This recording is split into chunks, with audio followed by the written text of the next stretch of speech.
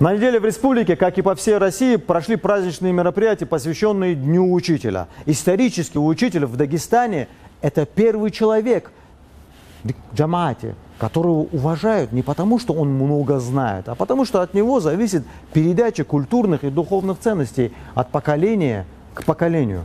Учитель неприкосновенен, но за последние годы лихолетия образ и профессия учителя оказались в андеграунде. Власть и общество – относились к нему как к слабому звену в пищевой цепочке постсоветской институциональной системы. В воздухе повис вопрос, когда учитель станет костью земли российской, главным человеком в ценностной системе координат нашей великой страны. Смотрите далее репортаж Гамзата Нурмагомедова.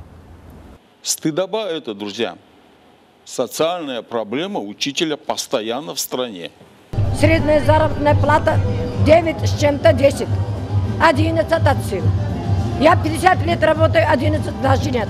Это личный выбор. А, знаете, меня часто об этом спрашивают э, и по учителям, и по преподавателям. Это призвание.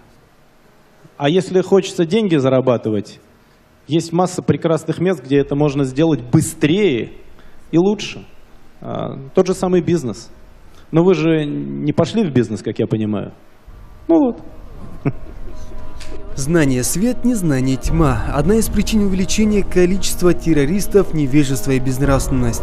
Для работы с последствиями невежества и бездуховности государство затрачивает в 2-3 раза больше средств, нежели для работы с устранением причин. Сотрудники силовых структур получают в среднем ежемесячно 40-50 тысяч, в то время как учителя зарабатывают 10-15 тысяч рублей, а то и меньше. Труд милиции, в полиции, он тоже, вы знаете, сложный, опасный, и в Дагестане в особенности. Поэтому здесь э, не нужно сравнивать это. Э, вопрос в том, что ты в жизни выбираешь.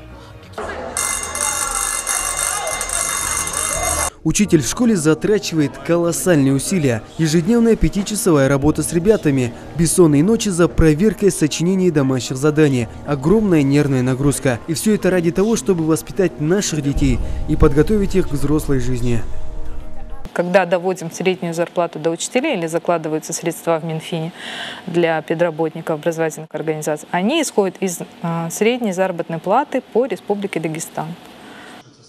Чиновники, которые пришли в Аварский театр на праздничный концерт, посвященный Дню Учителя, где пели, танцевали и дарили подарки, обещали уделять больше внимания педагогам. Сегодня, сопоставляя профессии, может быть, я признаю, что отчасти э, то э, внимание со стороны государства, наверное, неполное.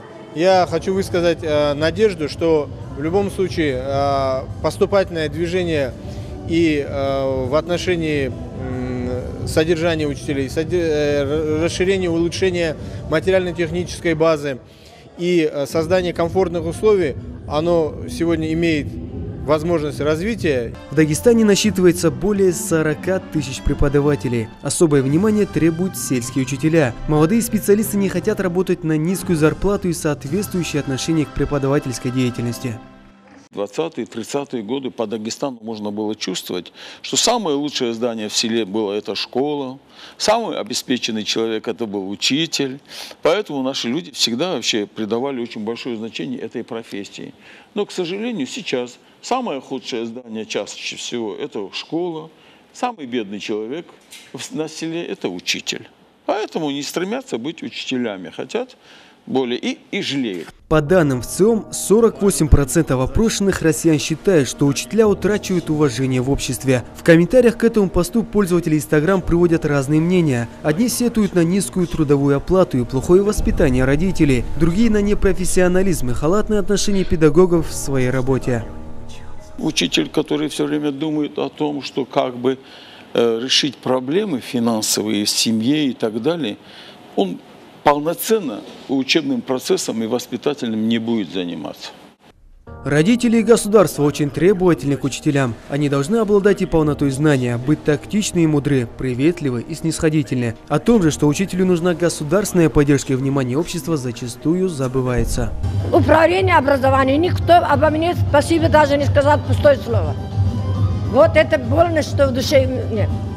Назначением нового главы Дагестана Владимира Васильева педагоги надеются, что существующие проблемы решатся, а заработная плата в регионе повысится до федеральной планки. Гамзат Нурмагомедов, Нурмагомед Магомедов, Дауд Гасанов, телеканал ННТ, Махачкала.